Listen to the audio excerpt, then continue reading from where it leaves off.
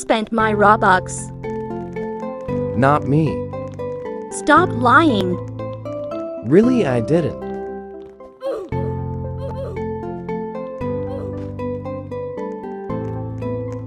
See, I didn't.